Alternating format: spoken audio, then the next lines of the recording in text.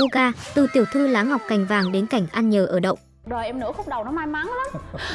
Nó như là trải hoa hồng vậy đó Thì ờ, được cưng, được thương rất là ấy. Xong Em đang học nửa chừng thì ờ, gia đình em xảy ra chuyện. Mẹ em ờ, gọi kêu em đi về quê Thì em không chịu Em ở lại thì lúc đó em không có nhà ở. Em lúc đó em cũng không biết là mình phải sống như thế nào nữa. Mọi người ở trong đó rất là thương em. Mọi người cho em ở nhà ở nhờ người cho em ở nhờ vài ngày. Em ở nhà của bạn này vài ngày xong cái em qua nhà bạn khác em ở vài ngày cái em qua nhà người khác ở vài ngày. Em cứ xây vòng như vậy á. Xinh đẹp, duyên dáng, hướng nội lại chọn theo nghiệp diễn hài. Em là con nhà ai mà xinh thế nha? Em đây là ngày tết trên không. Trời đất ơi tự nhiên cái cục ảnh này đèn luôn Tự nhiên tôi phát hồn Từng kỳ thị tình chị em và người yêu nhỏ tuổi. chuyện mà hẹn hò với bạn trai kém tuổi hơn thì đối với Buka trước đây á thì Buka thấy đó là một vấn đề nha Nay trở thành bạn đời của cậu em Jin Tuấn Kiệt.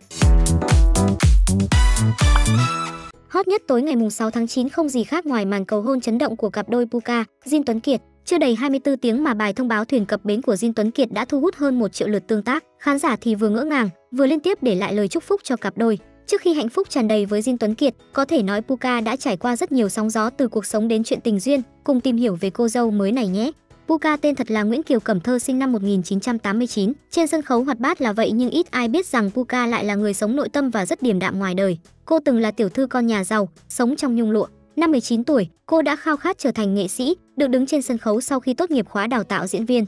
Nhưng một hung tin bất ngờ ập đến, gia đình Puka phá sản khiến cô mất tất cả. Từ một rich kid, cô phải đi ăn nhờ ở đậu. Nghe Puka kể lại, từ một đứa con muốn gì được nấy thì tôi bỗng mất tất cả.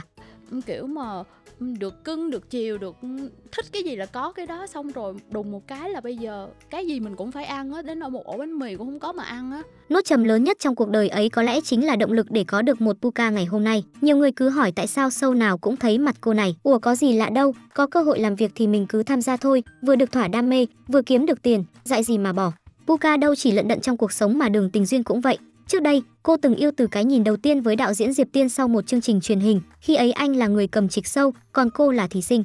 Suốt thời gian yêu nhau, họ từng dọn về sống chung. Thế nhưng đến năm 2019, sau 3 năm hẹn hò, họ chính thức đường ai nấy đi, dù trước đó họ đã có ý định xây dựng tổ ấm, nghe nói còn đính hôn rồi. Họ chọn dừng lại và làm bạn bè, đồng nghiệp bình thường, chia tay trong hòa bình, không thù hằn hay cạch mặt đối phương.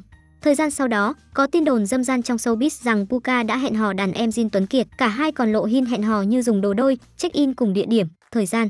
Thậm chí, thời gian giãn cách năm ngoái, họ còn bị nghi là đang sống chung nhà, nên ai cũng thấy cặp đôi này là tình trong như đã, mặt ngoài còn e. Puka còn thẳng thắn tiết lộ mình từng không thích tình chị em, nhưng mà hiện tại thì bao nhiêu tuổi cũng được, miễn là hợp nhau. thay đổi cái cách suy nghĩ và cái cách yêu của mình thì mình mới thấy là um, bao nhiêu tuổi cũng được miễn là hợp nhau miễn là đến với nhau đúng thời điểm là được Dường như ngay trong những câu trả lời trước đây, chúng ta đã thấy Puka đang ngầm cho khán giả biết mình đang yêu người nhỏ tuổi hơn rồi. Và trên trang cá nhân của mỹ nhân này đã xác nhận mình và Jin yêu nhau đã 4 năm. Chúc mừng Puka đã tìm thấy người đàn ông của cuộc đời mình.